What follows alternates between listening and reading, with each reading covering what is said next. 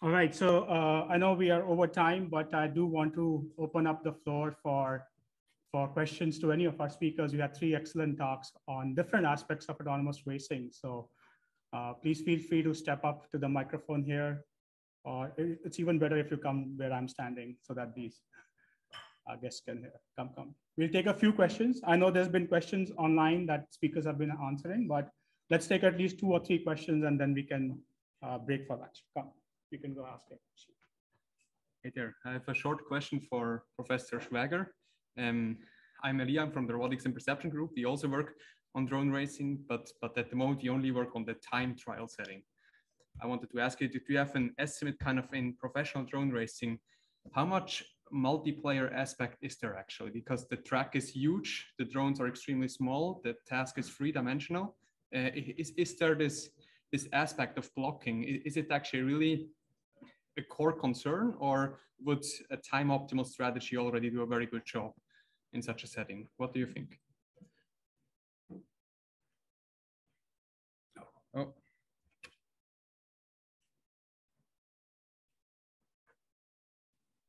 Okay, great. awesome. Thank you, Madhur. Uh, yeah, no, it's a great question. And I think um, probably uh, the way drone racing competitions are set up now, there's very little drone on drone interaction. I, I think you're right. Um, but I think for car racing, it's essential. I think this is one of the most exciting and interesting aspects of car racing. And I think, you know, drone racing is still a young sport, whether it's autonomous or piloted. And I think probably the tracks will evolve and the maybe the different you know um, how do you say tiers of competition will evolve. Maybe there maybe in the future there will be more of a focus on on drone on drone competition. But no I, I think you're right. I think there's not really a significant threat of drone drone collision in, in the way things are currently set up. Okay thanks a lot. Sure. Uh, we have one more question. Yeah come on up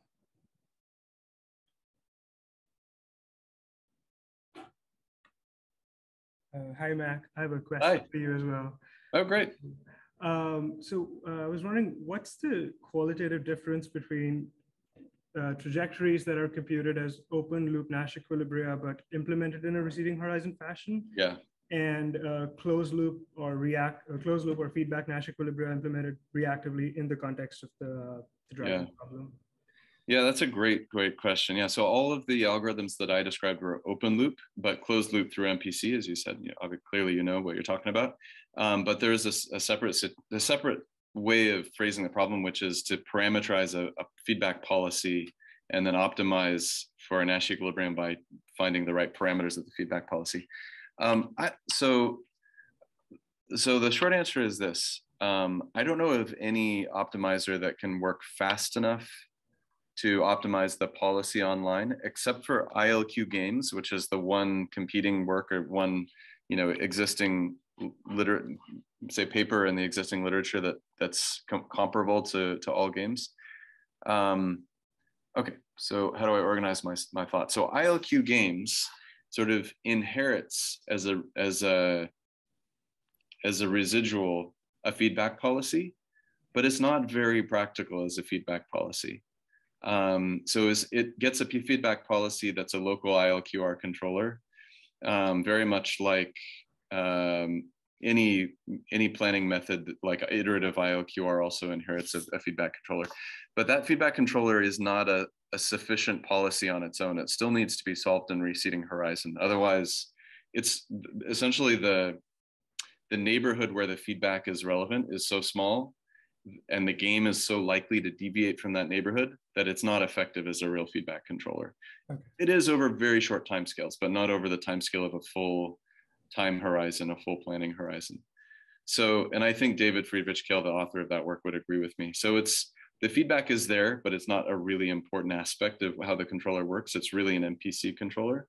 Now, one could try to parameterize a real feedback policy as a deep network, and I have not seen that done um, in the literature. And I think the reason is because it's real. Essentially, finding Nash equilibria is computationally very difficult.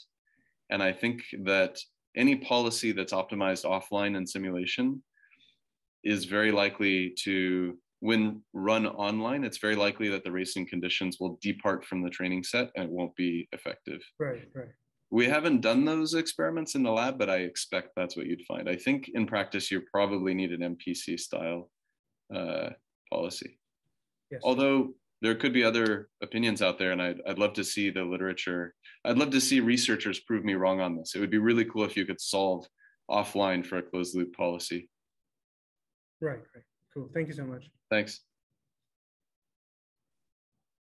Okay, so uh, yeah, so maybe very quick a quick question to you, Alex. Uh, uh, if you could keep it brief as well. So since you're transitioning from the racetrack to the real world in some sense, you're already in the real world, but to a more, let's say, uh, structured world than a racing track. Uh, from the perception to planning to control, which one of these translates the most to regular driving, in your opinion? Right, because because the kind of perception problems we experience at speeds is, isn't really what we would experience on the track. Also, the set of objects we have to detect in the urban situation is very different. So, so which one of these layers do you think is the easiest to, to uh, you know, do something outside of racing?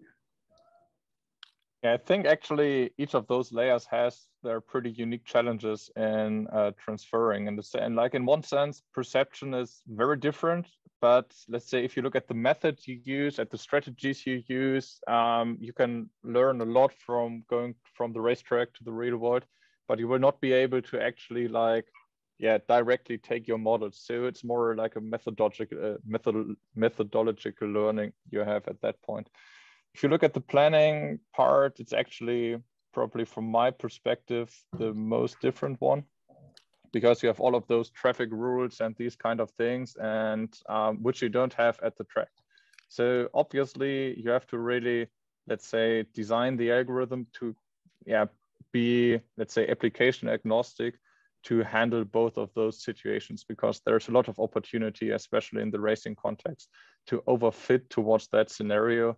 And then it's going to be pretty hard to actually move the algorithms from the racetrack to the road.